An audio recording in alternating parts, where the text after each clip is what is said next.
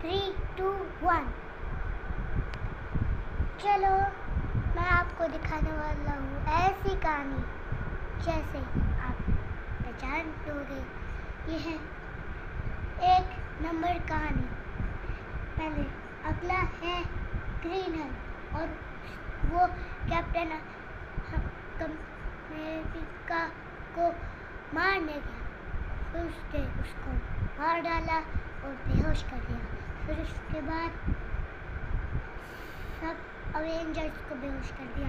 फिर उसके बाद डायनासोर्स को बेहोश कर के चला गया और अपने पापा के पास गया और सबको कहा, क्योंकि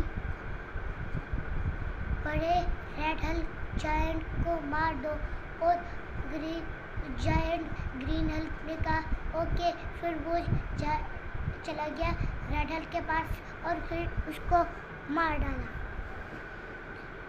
अच्छा तो उसने किया लाइक एंड सब्सक्राइब और बस और लाइक करें एंड सब्सक्राइब करें।